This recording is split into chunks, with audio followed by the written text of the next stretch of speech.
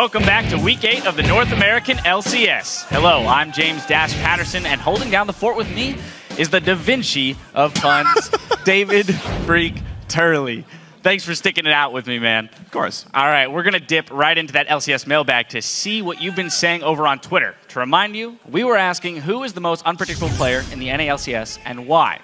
Our first response comes from at Kane Melvin.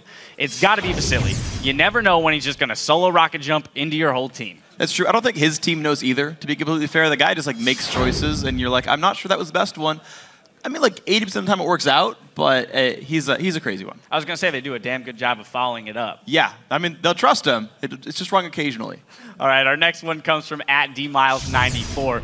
West Westrice. He isn't a calculative robot. He sees a chance and takes it. Not always does it work out in his favor, though. Lol. LOL. And I gotta say, West Westrice is probably uh, very much up there as the most unpredictable player. Yeah, he picks fights out of nowhere, and you never know what it's gonna be. He's aggressive. You can't fault him for going after what he wants. All right, our next one comes from at Kalu77. Pr0lly with his Annie pick and his patented feed to win Yasuo. You can't tell what he'll do next. But again, kind of like Westrice, he's probably just gonna dive you all the time regardless. And to be fair, I mean, if the strat is 0-4-1 Yasuo to win the game, I wouldn't have picked that either. But hey, if it works for him, it works for him. That's right. If it works, it works. At Jay Fabsky has our final one. I think Bjergsen is the most unpredictable player, mainly because you never know when he is going to dive you and wreck your face. I like how it's a whole bunch of just highly aggressive players that, like, at some point, and you never know when, they're going to kill you um, or, or die to you. Either one, you know, could work out for this. Um, Bjergsen, at least to a certain point, you know he's probably going to make the smarter choice. I think he's probably the most consistent of the aggressive players. Um, now, again, you might still not see it coming in, but yeah, he'll probably kill you when that happens.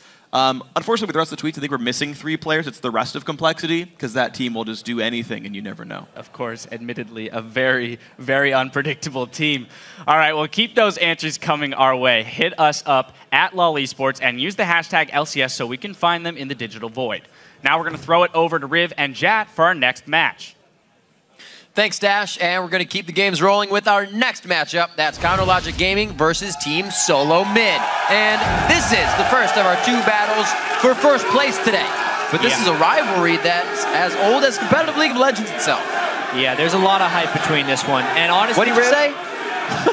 there's kind of like competing chants by the crowds. I know most of TSM, and it's been a long time since a regular season match has meant this much between these two teams. It's actually the first time that TSM and CLG are tied for first in the regular season, Yeah. and they've actually split their previous games. This split 1 1. Doesn't get any better. Both these teams want to win so badly that the pressure can cause players to make mistakes they normally wouldn't. Yeah, and we've seen Doublelift actually play a little skittish against TSM this split. Mm-hmm. And he admitted that in his last game against TSM that he was trying to anticipate Gleeb's hooks before they were thrown out, and as a result, he actually walked or flashed right into some of them. Yeah, that's not the way you want it to work out. On the side of Team Solo Mid, we've seen Dyrus as well shaking up the script and pulling out new champs in recent weeks, including a top lane Gragas for himself. Yeah, and in one of our interviews, he attributed a lot of his success actually to adapting and borrowing from what other Yes. players do well, which is interesting because Dyrus has this reputation of being a very slow to adapt player who takes many games on champions.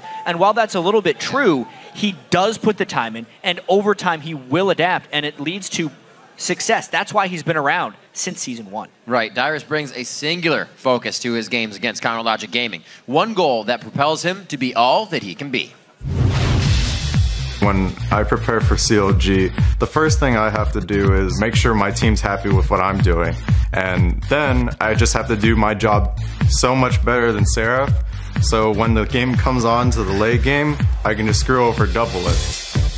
That is my ultimate pleasure in playing at CLG. Well, there you have it. Yeah. Some people. Well, it's actually Gleeb that ended up getting the best of double of last time. Yeah. But Dyrus definitely wants to become that super tank. And I'm going to be watching the matchup between Dyrus and Seraph here. If he doesn't dive, keep diving for that back line. I'm going to be pretty sad. Let's check out the starting lineups who will be in this match. On the blue side, it's going to be Counter Logic Gaming. In the top lane, that means it's Seraph with Dexter in the jungle, Link at mid lane, double lifted AD carry, and none other than Aphromoo on support. And this red side is Team Solo Mid with Dyrus himself in the top lane, Amazing in the jungle, Bjergsen in mid, and then of course Wild Turtle and Gleeb on AD carry and support. Get themselves set up and readied. Last coming from both sides. Obviously, have been watching and waiting for some Mm-hmm. of the long and or short games that we've had today, but both teams looking to get the win very Yeah. early. And I'm really interested to see how this new patch of Champion Select Yeah. works out for them. I'm going to go out on a limb and say this game's going to be less than 80 minutes long. So it's going to be a, a medium-sized one. Are you using your crystal ball for that one? I think so. I think we're not going to have the longest game in LCS history. The previous games between these guys, uh, actually a very quick win by CLG in game one. Yeah. That was the infamous cow ball game, 28 Oh, minutes. man. Uh, but the last one Great. was a one-sided victory for TSM that went 38 minutes. Yeah. Uh, there actually hasn't been an incredibly close game between these two teams this split. Well, let's see how far they can separate each other here in Champion Select. The bands to come out. See some mid-focus bands for sure, but an interesting first band Renekton. Yeah, I'd I was say. actually doing a lot of pick band research into this game in particular just because I wanted to see how the matchup had kind of evolved over time. And they do share very, very similar champion pools. But one interesting thing about Dyrus is he is actually undefeated on Renekton in the top lane this year. And Team Solomid in general, when they play against CLG, really heavily focus the laning phase. Dec- uh, Dyrus' Shyvana has been very poor against CLG in general. So with the Renekton ban, they are pushing Dyrus in one direction. Also, getting the Kog'Maw out, really taking away any of those kind of TSM fallbacks that they would want for a late game, or like you said, a very strong Dyrus lane so far. Good bans with the Lulu coming out, just a flex ban overall, coming from Team Solo Mid until they can really target something out that they know is going to give them the lead. Yeah, and it's a very tricky pick and ban phase Yeah. for this, these two teams. Another thing that I noticed there was a difference between the teams is their pick ban usage of Ziggs, actually. Uh, CLG has banned Ziggs away something like five times this split, uh, yet never had it banned against them, and Link has only played it once. So there would be a decent chance that TSM would want to try to extend this game a little bit with a Ziggs pick if it ends up falling that way. Pretty much two clear-cut lane win bans coming from Asindra and Renekton. Kassadin goes out as well. The mid gets its fair share of bans, but they quickly lock in that Ryze, seeing Yeah. how well it can do in the top lane. Could be some big top lane control for them here. Uh, Dyrus would almost have to go back to something like Gragas here, which he's been playing a lot of. Saw a good showing. But I mean, Quas did have that good Gragas game, but not exactly the late game damage turret that Ryze could become. Right. Uh, so if that lane were to happen, it would probably benefit CLG in the late game. Couple really early Ryze picks we've seen in the North American LCS today. Cloud9 picked it on their rotation through like TSM has right here with their second and third overall picks. Uh, but CLG just locks in the first pick over top of Lee Sin. So it could definitely be something that Amazing wants to pick up here. Very, very true. Good point about the Lee Sin. Ryze is just kind of that overall easy guy to grab. It doesn't tell you what kind of composition's coming at you. A little more late game than usual, but it's going to be really TF Trist. Will those be the lock-ins for Team Solo Mid? So much is open right now, but that's going to be their cream of the crop in this game. Jeez. Some really interesting things going down here. How junglers were not prioritized whatsoever. Still, Yeah, even though Amazing has been someone who can get easily pushed onto Jarvan, uh, his Elise scores this year are also spectacular. COG would rather target ban, uh, which is generally what they do. They're not one to do power bans as much because they're comfortable playing against pretty much anything. And it's very interesting how TSM picked away the TF. They're seemingly in this matchup valuing taking things away from CLG more than just running their own strategy, which is a little bit of a change of pace for TSM. Yeah. They're the ones to kind of follow suit with something they've slightly adapted. Yeah. It's going to be the Elise. Dexter loves it. When it's open, he will take it. And Aphromoo goes for the Morgana this game. Yeah, Elise was the most prolific jungler for both of these guys. As far as victory is concerned, even though everyone talks about amazing Lee Sin and how spectacular it is, Yeah. he has much more success on Elise. So Dexter locking that down, I think is a smart move. What can they get themselves now in? It's not even going to be that jungler just yet. They're holding that out to the late. You even see the jungler, but they want Yeah. their support in the top lane. Nami is a support that Gleeb actually favors very heavily. Aphromoot has not had success on Nami, whereas Gleeb Right. has, and that's very small differences between these guys because they all play each other's champions, but they show slight preferences Yeah, for their own. I really want to see Doublelift's AD carry choice here because he gets to pick from pretty much anything. He has really favored Twitch lately, but Twitch does have a bit of a weakness to Twisted Fate. I'm trying to figure out through. Like, Lucian would be the only It's one. the Jinx, generic pick obviously at there, but you need a dash. You got to get away from gold cards when they're teleporting at you. You need to get out of bubbles. Lucian is safer in lane than pulling out that Jinx. And it's going to be the Yasuo coming out for Link. He pulls that out again. We've seen him get a little too aggressive, but the team's kind of able to band-aid that, even if it does happen. And Riv, we've seen Link really break out Yeah. Yasuo recently, but this is definitely not the comp built for it. He's picking it for a matchup That's against true. Twisted Fate, but they do not have any knockup synergy for Link. He is completely responsible for his own ultimate cooldowns. And actually, the Lee Sin for Doesn't even pick Lee a second game in a row, not banned or picked. Last game it was, but the first game of the day, it went all the way through. Again here, the late game is really being focused on these teams. See what the Eve pick can do for Amazing if he can get some early game action going. It's Dexter's job to really cancel that out and shut it down. Very interesting picks coming out of this champion select, especially with Yeah. the Trist TF prioritization for Team Solo Mid to start. Even the Eve is a little bit curious. Yeah, compared to Lee Sin. I mean, it almost seems like they're going to try even harder to sneak up behind uh, CLG and try and finish off a few kills. For all the Lee Sin Elise stuff that Amazing has, we've seen an incredibly small amount of Eve out of him. So Yep. a couple first time things coming out in this game. It should be a very exciting match to give us a temporary team alone in first place. Yeah, that's true. This is a first place matchup. Who's going to grab it on this one? Let's check in with the good folks over at LOLesports.com to see how you've been voting. Currently, TSM leads CLG with 56 percentages. It's going to be a close vote. You can keep voting every time a buff gets stolen, if someone gets ganked, if a turret goes down. That's right. You can update who prevails at LOL Esports with the hashtag CLG or TSM. Or you can just hashtag, then the fans will start chanting a name, and you can just put win after that. Yeah. And that'll generally give you the team that's doing well. Lock it down. There's no, game. there's no points for voting right. You can tell your friends were right, and then you'll always be right. That still counts, actually. A lot of a lot of bets are just about pride, Riv. That's true. Yeah. That but whether is you know you got it right or not. if CLG can get themselves into that first place spot. Really, for, for previous splits, they've kind of been a 500 team. They'll always be able to mm-hmm. compete with the top caliber, but lose a few of those top games, get their wins off lower tiers. This time, it's been a complete back and forth between the top teams, and CLG has been one. So has Team Solo Mid, and we're going to see how they duke it out on the Rift right now. Game three, week eight. We're going to see who takes first place for a game. Summoner spell update as we get into this game as well. Doublelift with the cleanse against Twisted Ooh. Fate and Eve. Definitely does not want to get locked up by those Twisted Fate gold cards into the back line. Remember back in the day when he would play Vayne and he'd just run that because he didn't trust Yeah. his positioning?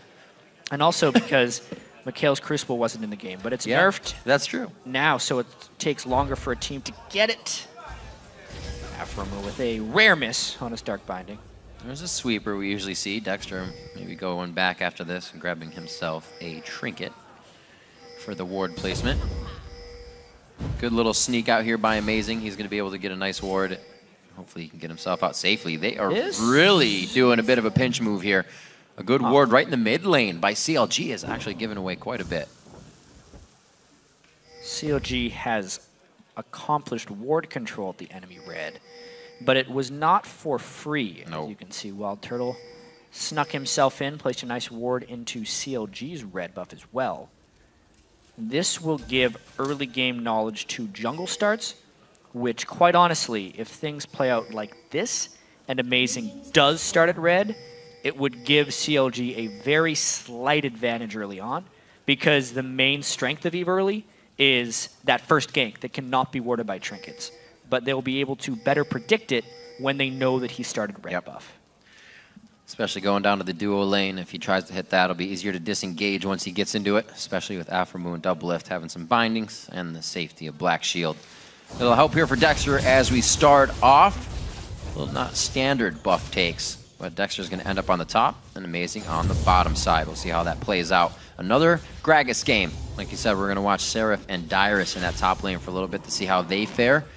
Both have been getting more consistent in their play throughout the season. Yeah, Dyrus is one to one on top lane Gragas, I think. Mm-hmm. Pretty good at it actually in lane. Locos calls Dyrus the best top lane Gragas in North America. Oh. So he has a lot of confidence in his ability to play that up top. We'll see. My mom says I could be president. So see how that works out. Good binding coming in from Aphromoo. Ooh. Wow, a lot of caster minion damage. Gleeb is just taken down to half health there. So Rush Hour seems to get a bit of the win in HP, but nobody's level 2 yet, so they haven't really tried to go hard on any executions. Dexter picking up the blue. We're going to get the junglers out into the lanes in at least a minute and a half here. Coming up on that three-minute mark, we'll see a few more of those trinkets going down as they're coming up. Yeah. And speaking of early game here, Riv, amazing hitting level 3. Uh, this mid lane is a little interesting. We've seen some uh, strange starts in the mid lane, like Boots first, the Pobelter did as Ryze the Yeah. other day. Link Mhm. has gone Boots first on Yasuo as well here. And he's done a few other things differently too. He has 1% in crit runes, So he did run which is doubled by Yasuo's passive, so it's his 2%. But he's also running 5% lifesteal, so he's running lifesteal quints on Yasuo mid, Hmm. and the boots to help him dodge around in that mid lane. Oh, the flash! There is the beautiful consecutive laid on crowd control. Great job, Dexter, to help Seraph in the top lane. First blood. Be called the best top lane Gragas, but if you don't ward your lane at 3 minutes 30 seconds, Nerp, nerp. Elise and Ryze will get you. There's a little bit of denial on the damage from Flo. Amazing is left waiting in the brush. Looks like he won't be seen here, so he'll get another attempt, but I like Link's idea. He says, I'm pushed out of lane, it's evened out, I'm going to take Wraiths. Good pressure by Amazing to Or keep it on. he? There's a friend. Ooh. Link took a lot of damage for that too. Really good counter jungle there by Amazing to try and get back at that CLG gank. One kill going to Dexter. Oops. The thing with the Dyrus death actually is, as far as it being isolated to the lane, he really wasn't harmed very much by that. His lane opponent Seraph only got an assist. Dexter or Dyrus didn't even have time to burn his flash because of the chain crowd control. Right. And he teleported right back to the lane as it was shoving. So when all is said and done after that gank, he's down 150 gold and uh, They have the chance to turn that around, too. Yeah. Once Amazing gets himself to the top lane, a possible gank for them. TSM not really even on the back foot after that one, but we do see that CLG kind of sticks with Dexter helping Seraph in the early part of the game, making sure that he will have a slight snowball to work off of. Keep himself nice and strong.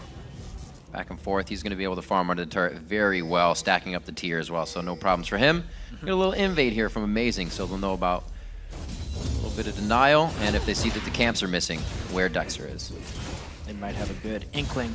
Yeah. CLG Riv had a really strange super week that I kind of wanted to touch on. Yeah. In one of the games, they looked spectacular. They beat up Cloud9, in large part because Seraph and Dexter had a lot of ganks up top on a Balls' Kayle and just really snowballed that lane out and looked incredibly coordinated. Yeah. Yet when you look at their super week as a whole, they went 2 and 2. One of their wins was when they were down 5,000 gold at 20 minutes to complexity and still managed to come back. Yeah. So they very well could have went 1 and 3. It's really about which CLG shows up and how can they actually capture some type of consistency.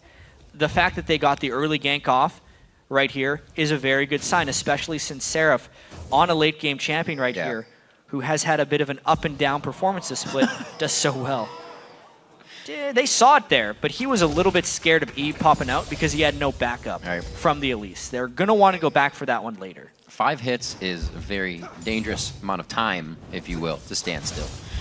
6.09 on the clock. Bjergsen gets down to pink ward, so it looks like teams feel that they have enough control to start grabbing portions of the map. We've got a hover here from Amazing. I don't know if he wants to fully go in on this engage. He's not level 6 yet, Right. Which is a really important moment. He's wasted a lot of time up here. He just And took Wraith and he's been chilling. Full health. They need Quite a rather. lot of confidence if they want to dive this. They're probably going to try and get Bjergsen up there if they really do want to dive. It's where he's roaming to right now, but the pink ward should see this. And Seraph, he's going to realize he's in a whole heap load of trouble if Bjergsen gets any farther. He's just running away right now because he knows that if the Twisted Fate came, he would die. It was a really good ward actually by Link that saved Seraph's skin there.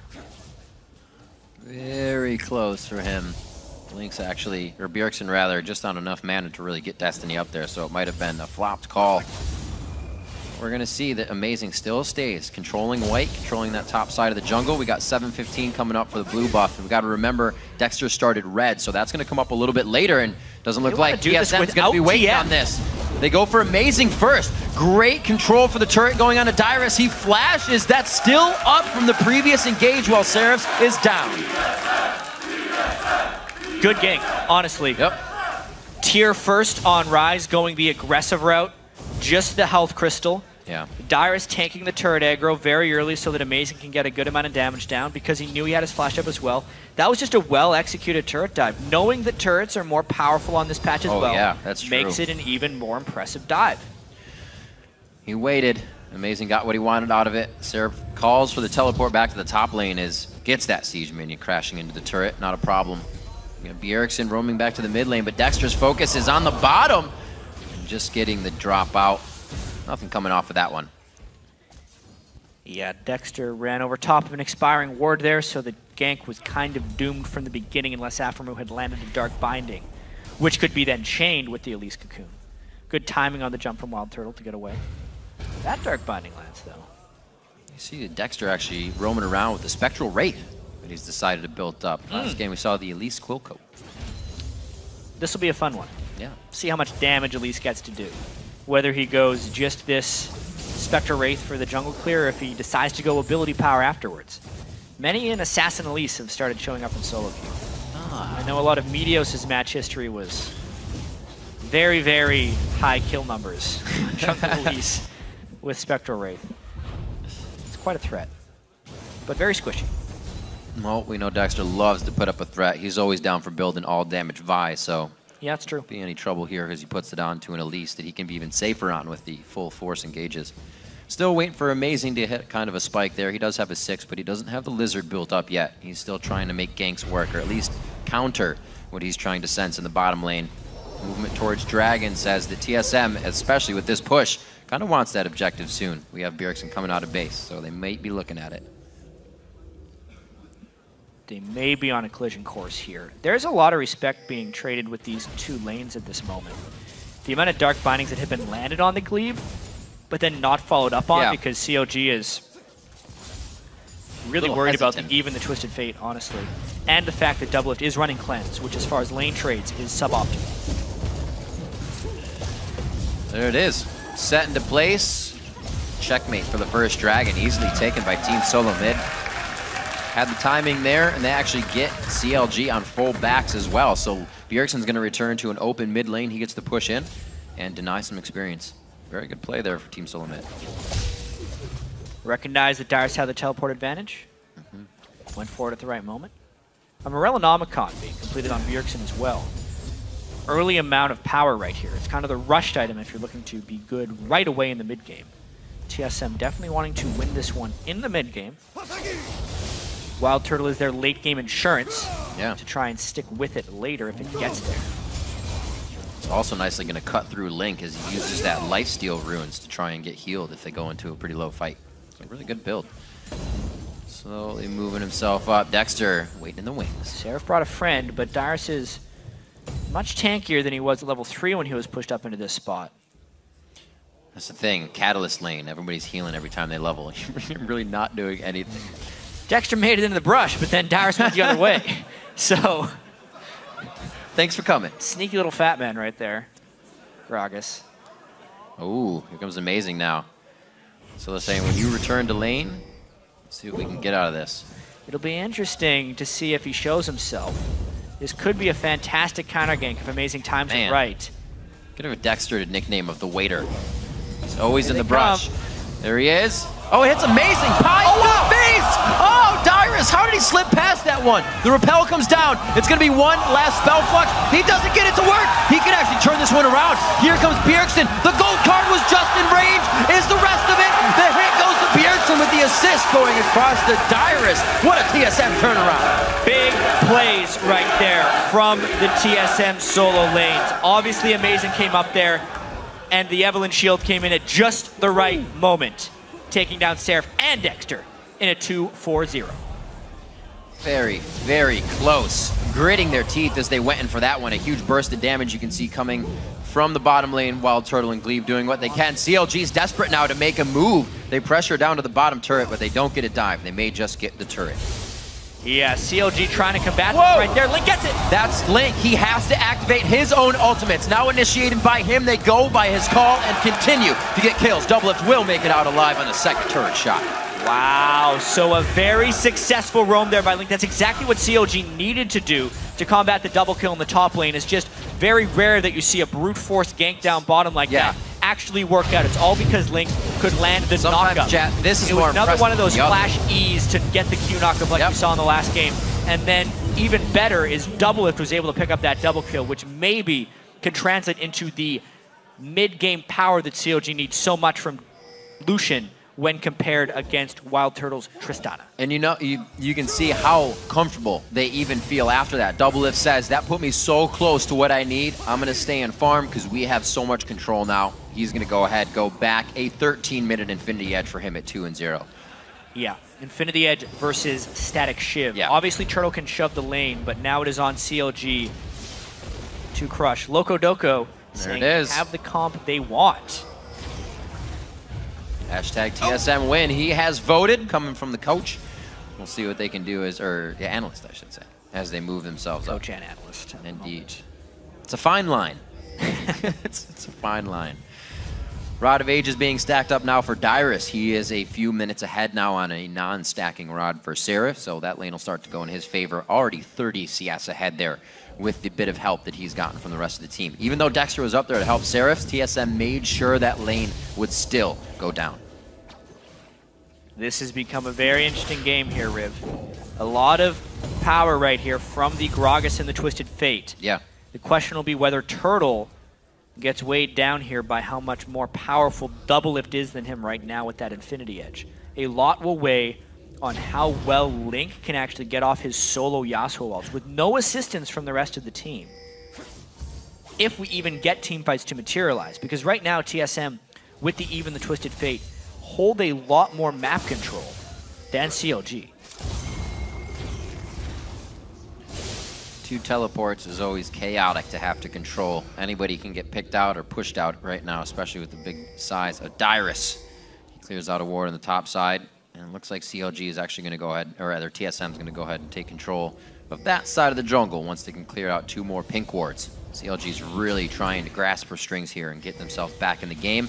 Only down 2,000 gold, but the map control, we're worth a lot more than that.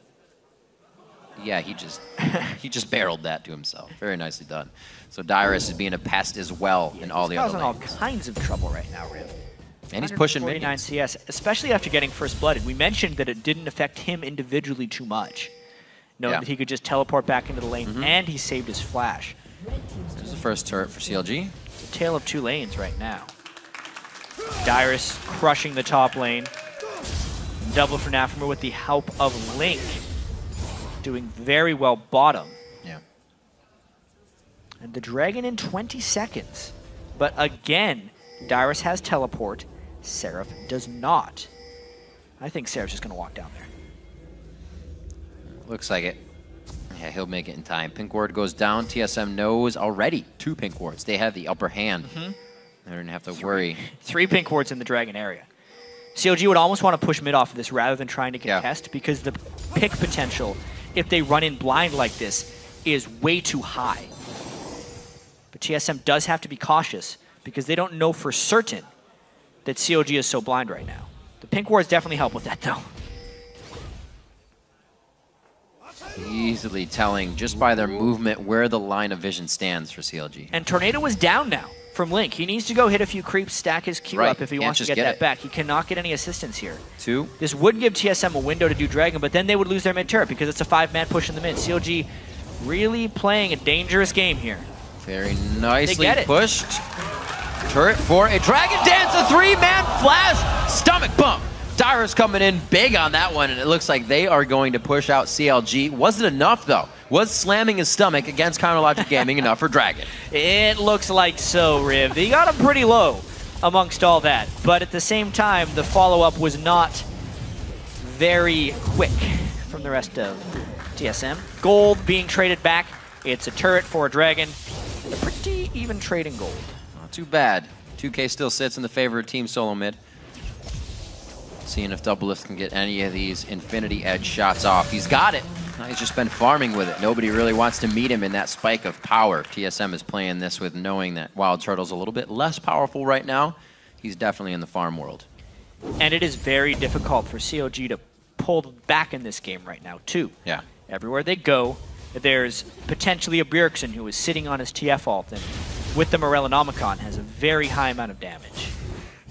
CLG kind of has to sit back and get dictated to by TSM here, which is not ideal when they know they have that Tristana on the other side that they're going to have to deal with eventually. Very interesting that they can't get Seraph big enough at this point. It's going to take a while before he can really be a split push threat. Dyrus can easily push him out. So they're waiting on a lot. The timer is ticking for them. A big difference between the rise we see in this game from Seraph and the rise we saw in last game from Balls. Yeah. Uh, lane matchup has a lot to do with that. The Gragas is potentially the most imposing top laner that we have in League of Legends right now. It's one of the reasons he has picked up so much popularity. And one of the big reasons Dyrus gravitates mm-hmm. towards that champion so much. For the same reasons that CLG banned Renekton, they want to stop TSM from having lane dominant champions. Yet Gragas fits right into that mold. Right. It's almost the perfect pick for them in this scenario. So you can almost hold it, but if you don't, then it just becomes too much. That's where Dyrus has gotten himself to right now, and CLG's trying to pull themselves back from that little incident. Still a lot of control going around around the Baron pit, or Dragon pit rather, even though it's gone. It's just where TSM is protecting Dyrus, keeping the split push going. Trying to hold mid. They're just giving Seraph time to farm top as well. See if he can get that rod charged and get this late game going for CLG. That's really their only option at this point. But yeah. then they're looking at Wild Turtle. It's kind of uh, damned if you do, damned if you don't. And we know the gold is still pretty close. Yep. The late game teams aren't much different. They balance out in power fairly mm -hmm. evenly, which makes this game still very contested. It will be about a lot of picks for now in this stage of the game. It's about finding the right fight. Whether Link can land those nice tornadoes to get double Doublelift some safety to finish things off, whether Seraph can stay in a farming place where he can actually go and get his items. Yeah. Or whether Bjergsen finds the right Twisted Fate ultimates. Right now, they oh almost dear. are amazing. This but is this is exposing them a little bit.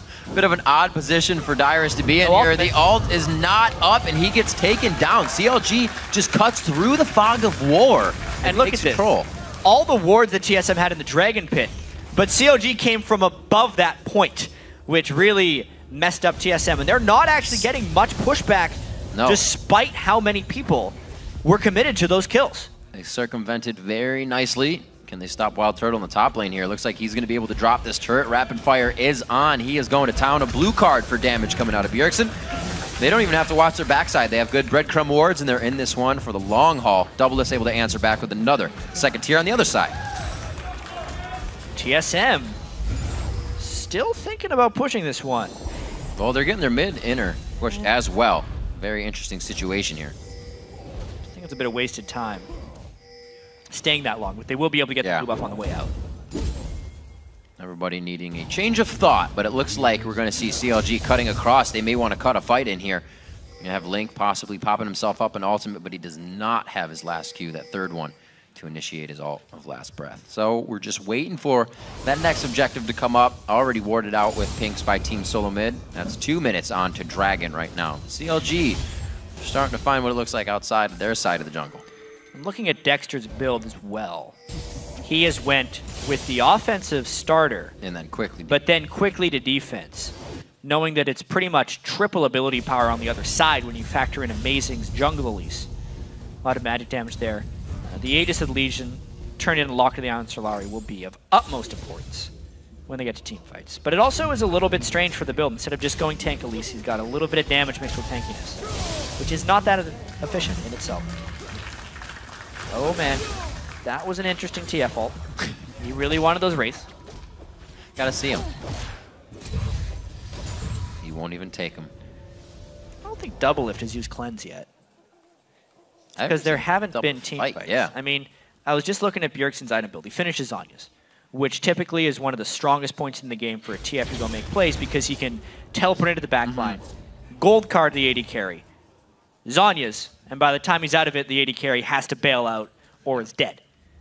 But against this team, because Doublelift has that cleanse that he has been saving this whole time, that play won't necessarily work as well. So while it is a strong point in the game Right. for Bjergsen, it is not as lethal as it normally is because Doublelift has been able to survive with that cleanse summoner spell, and now he theoretically gets to benefit in team fights where it should be the superior summoner. Very close. Link looking like he would have gone in on that. We've seen it before. He'll be the first one in. And then flash out very sneakily. Double lifting team now. Four-man push here. Pressure on the mid turret. Ryze in the bot lane. Teleports up on both the top lane champions.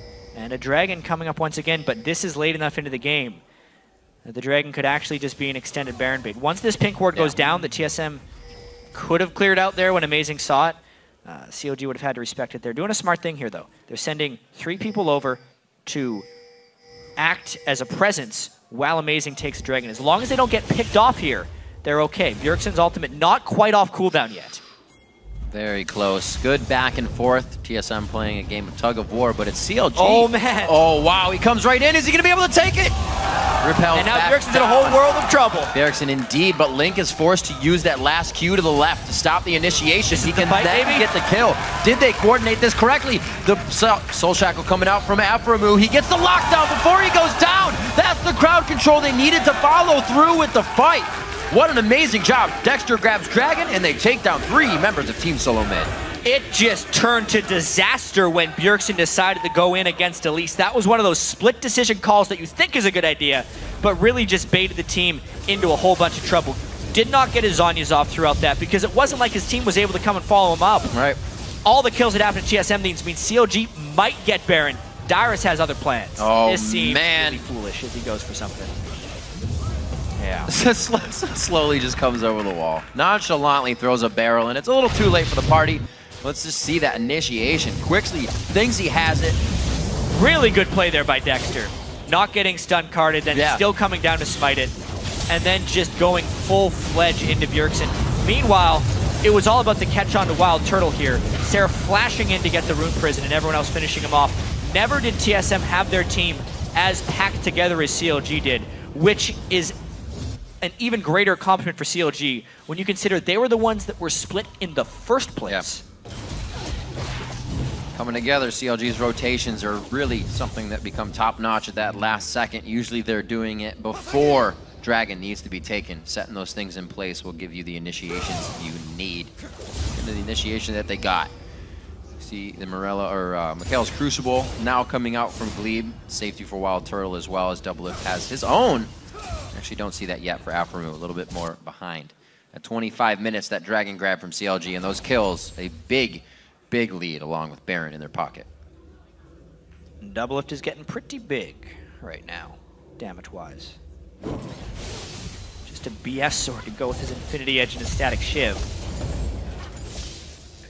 They have Baron. Double is still split pushing right now. Leaves the rest of the team in. They have some of the wards to do it. I guess they're just so strong they really can't be stopped on this. It feels very much like CLG is just trying to get as many waves shoving at Yeah. once so that they can adequately take outer turrets. The initiation will not be extremely easy for CLG here. Link would have to land a pretty good shot to go in, or a Cocoon or Dark Binding would have to land. They're really just needing to take shots, and even if they land those things, their follow-up damage will be a little dangerous to land. There's a lot of counterplay still left for TSM. Whoa! Whoa! Doubleth coming out huge. Gives the muscle flex, and he just crushes Wild Turtle underneath the bicep. It's going to be Link trying to get out of this one. A second turret shot calls out the Locket of the Iron Solari from Dexter's safety. Whoa. Looks like they'll be they'll be all right, but you just got picked off by the AD carry. Yeah, Doublelift wanted to prove a point right there, and he nearly blew himself up, but he did get Wild Turtle in the process. That's that big damage jump, and the Baron buff should reason them up a little bit. With no Tristana as a threat, they can chunk down this turret through the wind walls, but Dyrus, uh-oh! Doing what he can. They got a few Zhonya's to play with, and that chaos brings them in a kill. Dexter gets played a little bit there. Yeah, Zhonya's paying for itself there. Dyrus missed the body slam, and then when he Zhonya's, it made CLG all look very dangerous. And Seraph, oh man, he's gonna get gold carded. They don't wanna turn on follow? this. It's so dangerous. Ooh, nice wall. There was the Zhonya's from Bjergsen, but where's the follow-up there? It was coming from Wild Turtle slowly after. Now pushing CLG out is TSM That wasn't- on the upper hand. That's a five-minute fumble Ruski coming out of Bjergsen there. He's going to be waiting for that one to come back up. It's still a 4v4 against a team with Baron. You can see them, and it'll probably tell you it's a bad idea. He's going. The Zhonya's play. Wow. He had second thoughts after teleported in there. He's like, all right, I did it. I teleported and got his Anyas. What now? They didn't have a follow-up plan.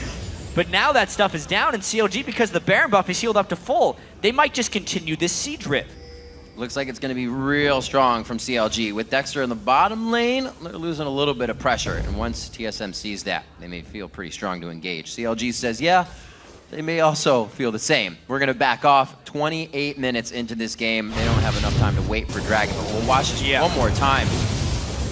The culling is what it ticked him right at the end, it appears. But you can see the amount of Yeah. retaliation damage that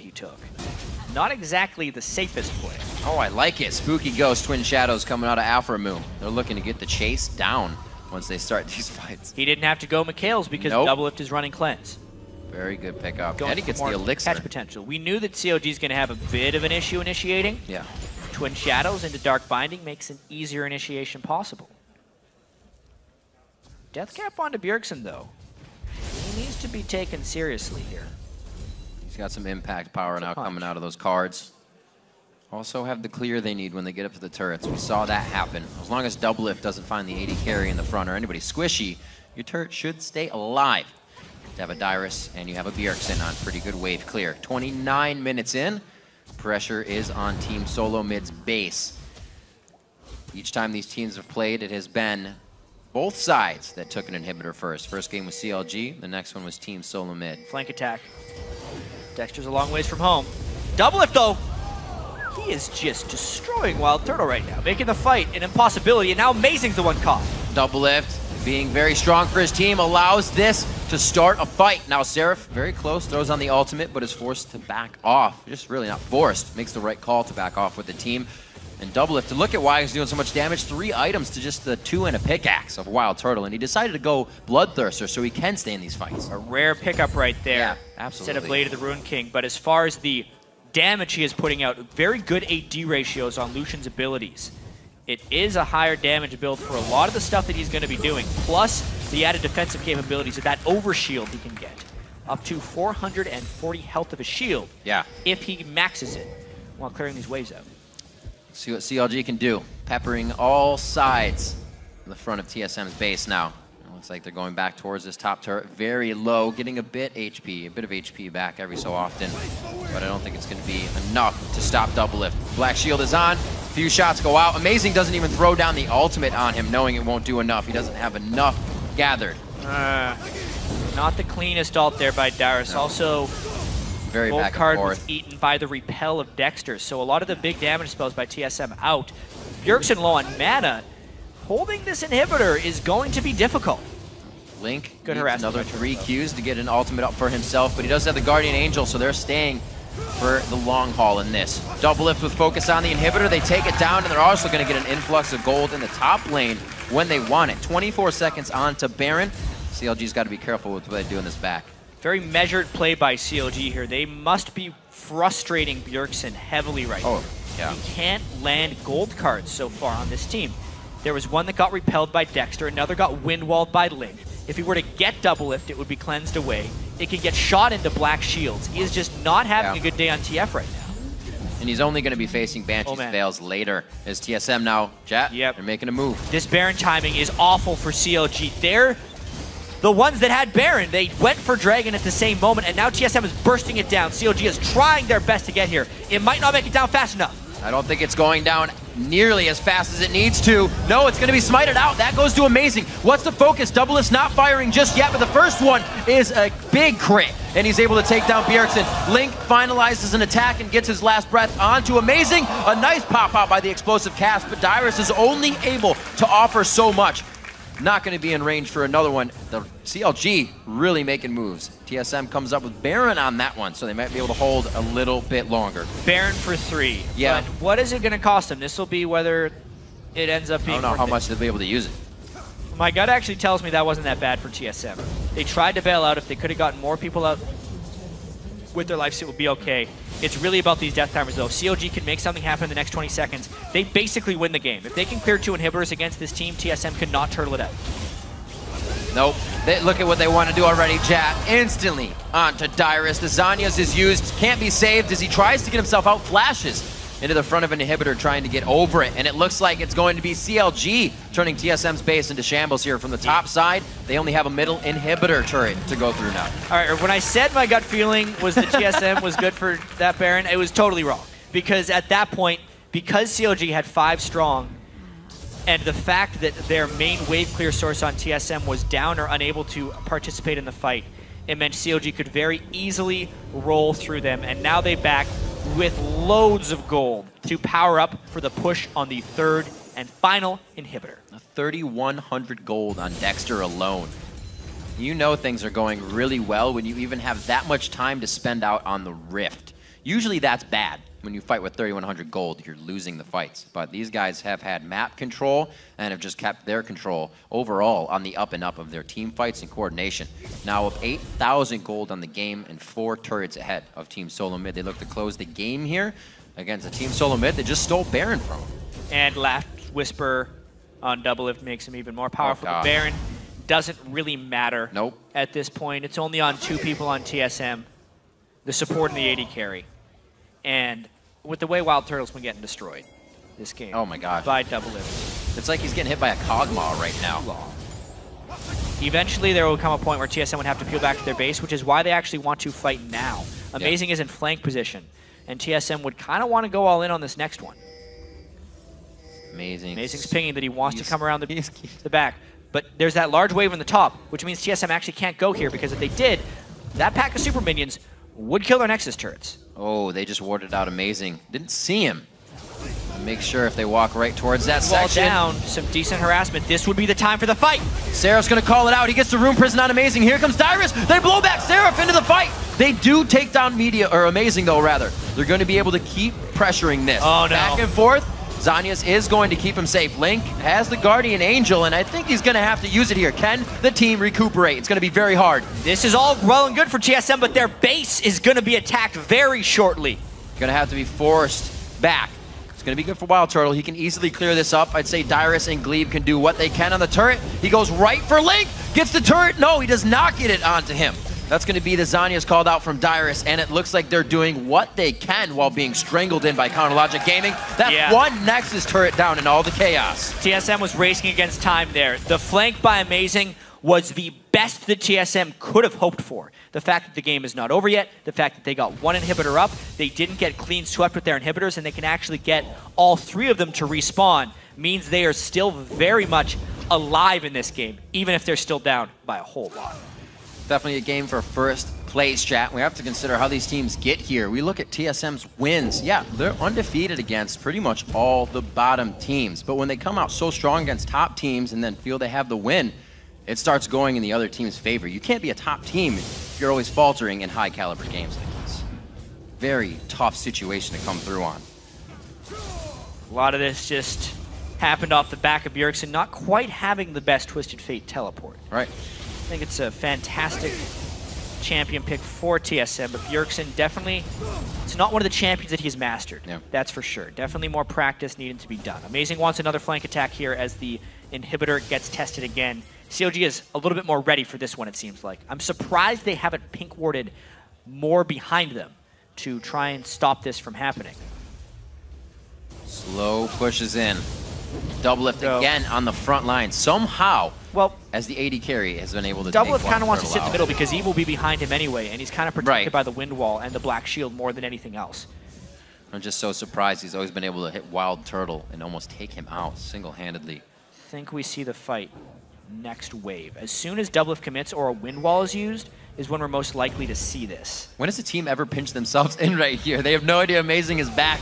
It looks so dangerous, but can they recuperate? What a spread in the fight, but they're all able to turn around. Amazing does not commit to Dyrus' cast. They Oh. were too spread out. Link goes very hard into the middle. Bjergsen stays alive, so does Amazing, and they're not getting all the kills they want. They've only traded mid laners for right now, but they have minions in their favor on CLG. Ah, the map pressure is just too much for TSM to handle. Even though it's a one-for-one fight, they are losing control of their base.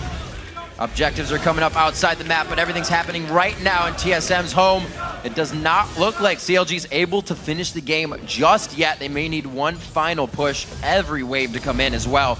A lot of disengage here from TSM is able to thwart them off that single Nexus turret. Jeez, this is the slow struggle right now for CLG. They're so close to ending the game, but you can see that TSM is just barely holding on to the last seconds of their life right here. Turtle really desperately trying to stay up, but he gets caught by anything and he would die. Amazing, tries to go in. He makes himself visible to Oh, try and call trades. it back. The very big trade there. Dexter gets hit up. This is going to be huge for Turtle. If he can start getting some items, they can really turn things around. It's going to be no more shots. He actually clicks backward. That goes to Amazing. Yes, TP'd in. does really want wants kill. kill on Dexter. I don't know if he's going to get that one, but TSM picks up three. They get few more onto Turtle. Not level 18 yet, so we haven't seen full potential from Triss, but this is definitely on the wire for TSM. It would be a miraculous comeback if TSM could do it real. Oh my gosh. Oh no! He's down. Or is he? Look at the turn! Oh man! Well, Link should be able to pick up a kill here. Does body slam making him out? Oh, what a oh! step! Link just kind of puts his foot out and trips Dyrus as he tries to get away. okay, they actually could get the Baron here, but then they have to go straight back to their base. They have zero inhibitors right now. So this is all on Lincoln trying to disrupt the backs of TSM more than anything else. Oh my gosh, the teleport from Seraph as well. They're gonna wait on this. Why would Does he Seraph have the charge? Get to the base. Oh, they can stop him and the minions would win. Oh, what a wall coming in. Very nicely played. CLG's trying to get in. Amazing's hurt. He's able to get the Baron and he flashes out. So does Bjergsen. They are out of there. Look at the Lickety minions. split, and the minions are pouring in. It's one last Nexus turret. We saw one go down already with two turrets up. This is like potential flashbacks to the TSM versus CLG game that we had in MLG. Quicker! TSM held it so well. There's so many oh, minions. Oh, man! Oh no. Oh no. Gleeb's gonna go down. Wild Turtle's being chased out here. They're not even on the goal side right now. Turtle's the best person They're running to from minions, home. but he can't get home. He cannot. This is going to be a long haul for him. No. Somebody call his parents. We could There's have another walk-in game ender. The second one of the day. Link's going to be in the face of Team Solo Mid right now, trying to give him hell. And it looks like the rest of the team, team is trying to trickle in. He's got Seraph in about 10 seconds. The rest of everybody has tunneled onto Wild Turtle right now, who has the hardest shell NA apparently, and is still running able so to run long. on this one. The repel in. Is he arachnophobic? I don't know. Let's find out. Maybe. He gets a few shots off. He blocks that out. We can hear the Soul Shackle going down on the other side of the map. They're trying to get the fight down. It's going to be a lockup here. Link almost getting the last few shots on if he can get to the Nexus. Seraph's getting some damn good auto attacks on. That's going to be the game. 40 minutes on the clock. CLG takes down Team Solo Mid. The ending of that game was a little strange, to say the least. A little bit hard to wrap our heads around, but it is Got some betting still a victory by CLG. And the main thing to keep in mind is they had accumulated such an advantage and mainly just won that because of their structure control. Yeah. They kept the inhibitors cycling down, and even if they were losing team fights, TSM could never safely hold off their base. TSM tried for a home run a few times in that game by going for Baron, but every time they did, they would lose substantial inhibitor control. And in the end of the game, it was really just the super minions and CLG's Oh, yeah. knowledge of what they can do, the minions that is, that ended up granting them the victory here because TSM just couldn't hold off the assault of super minions. Man, and we heard it from the man himself. TSM got the picks that they wanted that game and Yeah. were thwarted out. Very well played. And it, it was a different game, kind of, from Counter Logic Gaming. One that didn't really involve Doublelift too much. Back to the days where he would just farm. And then once we saw him, he was zeroing out an AD carry in 1v1 situations. Very, very old school CLG. They were able to completely control the game. Just pretty much play a structure game, as we said. But this time the kills started to flow in a little bit more than just two or three. And you could see at the end there, Dexter kind of had that exhale because it did get a little bit tense. That Yeah, was by no means the clean way that CLG wants to be closing out games as they try and work their way towards Worlds. It's almost every week, it seems like we're saying CLG now has sole possession of first place. Yeah. And then, like, two hours later, they don't. Uh, we're Well, going to see gonna that be again, because maybe, hopefully, less than two hours from now, we're going to be seeing that from CLG. Well, very good games played all throughout the day. Nail biters, to say the least, in most Yeah. of these, and a lot of back and forth, different things we've been seeing. A lot of first plays for High bringing out Yasuo. Link brings it out again. That's not his first, but definitely a lot stronger this time. And we see CLG able to adapt patch to patch and really be one of the teams that's kind of having a more successful result as of that situation. definitely seeing some new champions out of Seraph with the Ryze, which is really important for these guys. Yep. To be able to get down. He when he came over here, he pretty much just had success on Shyvana. And the other champions he was playing on, he struggled on very mightily. But he's a player with a lot of potential. Yeah. And people when Seraph came in, they really expected this guy who was just going to be this Korean god and he can play everything. It's not how it works. You don't just come over here and you're you're not a god instantly, especially without competitive experience. So he's getting it Yeah. better and better, and you can tell CLG is playing better with him with the ganks that Dexter can throw in at the start of the games. But the things that still haven't necessarily come around for CLG is just keeping it together for an extended period of time. Right. They have trouble doing it from game to game, staying consistent.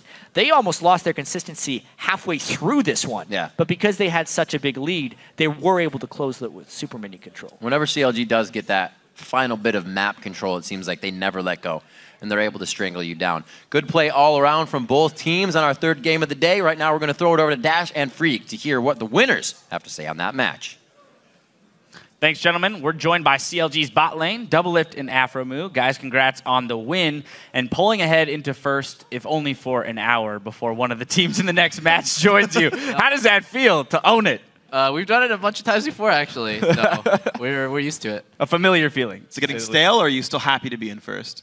Um, well, it's it's like every time we're in first, then after an hour or the next day we lose it. So it's like, oh well, hopefully we can keep it this time. All right, all right. Now, uh, I want to talk to you a little bit about, uh, uh, more about a general thing, which is champion select this split compared to last split.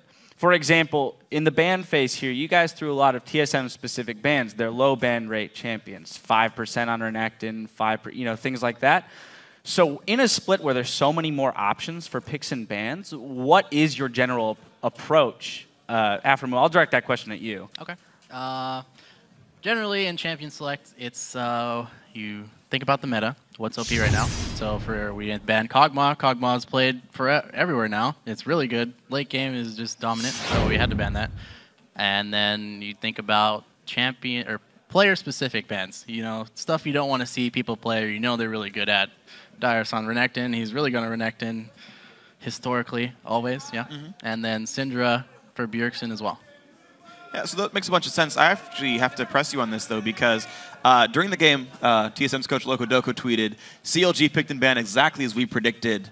Hashtag TSM win. Apparently, he guys he read you guys like a book. Uh, so first question is, does that concern you at all that your champ select is apparently predictable? Uh, no, not when we know what they're going to pick as well, and then they don't play it well. So Uh, see, do you think it was?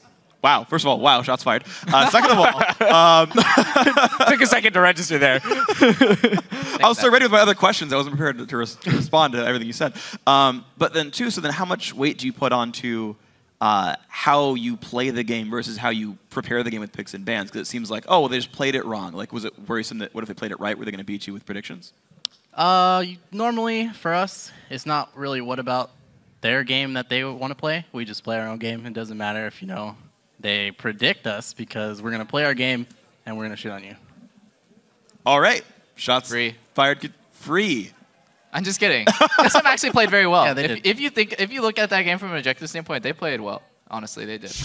Actually, uh, one, one further press actually for you specifically, since Afro was in shooting uh, bullets in the air the whole time. Peter, uh, so apparently you had to ban Kog'Maw. Traditionally, you're really slow at picking up new AD carries. It took you like months for the Lucian hype train. Yeah. Maybe it's gonna take you off for the Kog'Maw hype train. No, Uh, I'm already on the Kog'Maw hype train. I think every competitive AD carry right now knows how strong Kog is.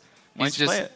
Why didn't I play it? Yeah. Uh, well, our strategy was to ban it for various reasons that I don't want to talk about. But um, like I'm sure Turtle plays it, Sneaky plays it, uh, Cop plays it. Pretty much everyone plays it. Actually, the only AD, LCS AD carry I don't see play it much is Cutie Pie. But I'm sure he can play it as well. I mean, everyone knows how to play Kog'Maw, and he's just so strong right now. All right, well, talking about how well TSM played this game, as you said they did, given the fact that we saw Seraph get behind a little bit, there was one successful gank top uh, for him, but following that, he went down on CS. They had a failed counter gank. What does that do to the other lanes, especially Aphromoo and Link as shot callers, wh- when one lane is losing? Like, how does that transfer into your bot lane?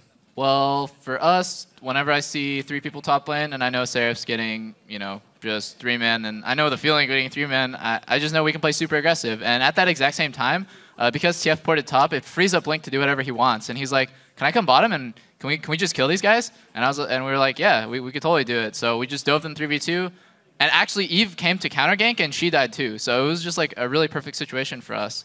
Um, so whenever you try to snowball your top lane, your bottom lane should suffer, and there's always a back and forth. I'm actually glad you bring up the uh, Bjergsen ultimates because we actually have our, our uh, replay, if we can pull that one up. It's about 23 minutes in. Starts out with a, uh, I guess, a questionable TF ulti if you want to walk us through this fight. I don't. Oh, he's, he's going for the I think- dragon. I That's how he's in the this- drag. Dexter soloing drag, right? yeah. oh yeah. I don't remember what happens. I think Dexter just gets a good smite here. Bjergsen should not have carded Dragon for the steal. Instead, have should have uh, gold carded Dexter so that he couldn't jump him like this, and he just dies for free. And uh, right here, Afro's calling me to come kill Turtle. He flashes, and that's super important for the next fight because he flashed and he still died. It would have been fine if he flashed and he lived, but uh, Turtle flashed and died, and so next fight, it's guaranteed win. Uh, and then they're just split up because uh, I guess it was kind of a panic call, like, oh my god, he's on Dragon, we have to stop it. Uh, and they're split up. So in the rest of the game, you guys seem to be mostly in control, aside from uh, that, that late game where you like lost four champions top of their nexus. Other than that, uh, but when you're starting to, to grow a lead like this, how do you kind of keep the, the train rolling? How do you keep the, the, the ball rolling? Honestly, you don't. You have to not be scared. And I think at the end of the game, we were really scared to end the game when Tristana had no flash for a minute when we were sieging bottom tower, and we're like, okay, we can dive, we can dive, but like we weren't actually doing it. And it's just you have to be confident in yourself to be able to end the game properly and not be too worried about like repercussions because you're so far ahead. Okay. Awesome. All right, one final question for you guys is that you've got Dig tomorrow, and now we don't know how the the game later today is going to finish.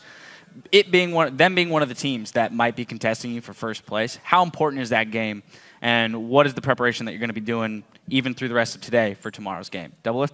Uh, it's super important, obviously, ju- just for to beat every team. Just because Dig is first place doesn't mean that I think that the win against them is any more important than like a win against Curse or Complexity. But uh, right now, Dig seems to be losing to us. I think they're 0-2 or maybe even 0-3 so far in the regular season.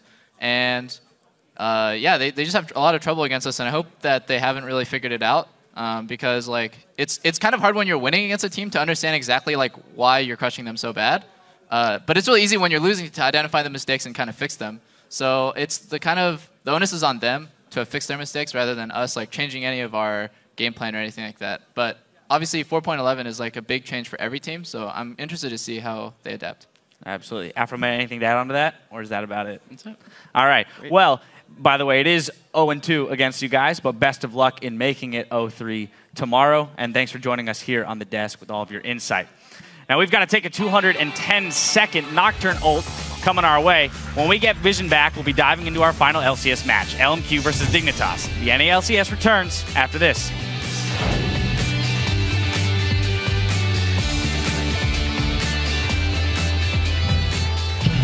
Maybe I should go into voice acting. Yeah. I will not forget who I am. The repel comes down. It's going to be one last spell fuck. He doesn't get it to work. He can actually turn this one around. Here comes Bjergsen. The gold card was just in range. Yeah, CLG trying to combat Whoa. right there. Link gets it. That's Link. He has to activate his own ultimates. Now initiated by him, they go by his call and continue. Soul Shackle coming out from Aphromoo. He gets the lockdown before he goes down. That's the crowd control they needed to follow through with the fight. Amazing tries to go in. He makes himself visible to try Oh, and call it back. The very big trade there. Dexter gets hit up. This is going to be huge for Turtle.